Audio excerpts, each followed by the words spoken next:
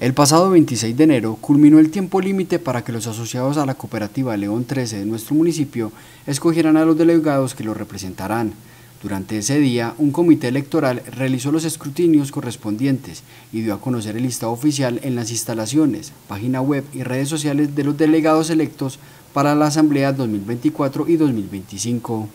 El día eh, viernes 26 de enero eh, a las 12 del día se cerraron las elecciones para delegados a la Asamblea General de 2024 y 2025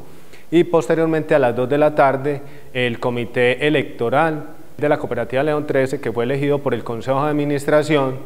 hizo la parte de los escrutinios donde tuvimos una votación de 2.802 asociados de 6.667 asociados hábiles, lo que corresponde a un 42%, muy buena participación para nosotros pues como cooperativa fue un éxito. Recordarles que estas elecciones se hicieron desde el día 9 de enero que hicimos la apertura hasta el día 26 de enero. Tuvimos por Guatapé postulados 53 asociados que postularon para ser delegados y por San Rafael tuvimos 27 postulados. Teníamos dos zonas electorales, Guatapé y San Rafael. De estos postulados de Guatapé, de los 53 que se postularon, 33 elegían por Guatapé y de los 27 que teníamos por San Rafael, 17 se elegían por San Rafael para completar un grupo de delegados de 50 delegados. Estos delegados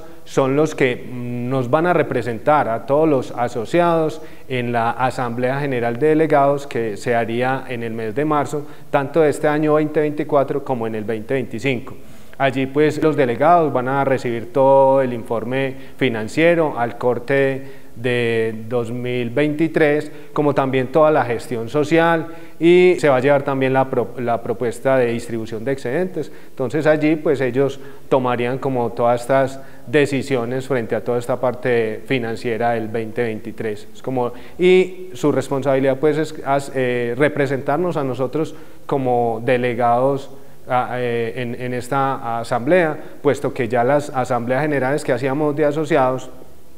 por la parte logística, pues en el Coliseo ya se nos es un poco difícil, por eso a nivel del el Consejo de Administración, desde hace un par de años se tomó la determinación y se llevó a, a estatutos de que ya las asambleas se siguieran haciendo por, por delegados. Entonces, informarle a todos nuestros asociados, a la comunidad, que ya se tienen el resultado pues, de estas elecciones y ya se tienen los delegados y por los diferentes medios y por redes sociales pues se ha dado a conocer quiénes son nuestros delegados para la asamblea. Es un ejercicio democrático que se hace desde la cooperativa de elegir y ser elegidos y estas personas que se postularon son personas con gran sentido de pertenencia, que les gusta toda esta parte comunitaria de labor social y que se postulan, postulan su nombre sin ningún interés, sin recibir eh, una comisión ni, ni unos honorarios, simplemente es esas ganas, esa voluntad, ese sentido de pertenencia, de quererle servir a la cooperativa, de querer prestar un servicio social. Eso es como lo que se pretende también desde los mismos delegados, que son personas que mm, eh, con, su, con su voluntad y su interés de servir eh, pusieron su nombre y eso es lo que van a hacer los delegados también, de hacer esta representación, de ser esa cara visible en la Asamblea General de Delegados.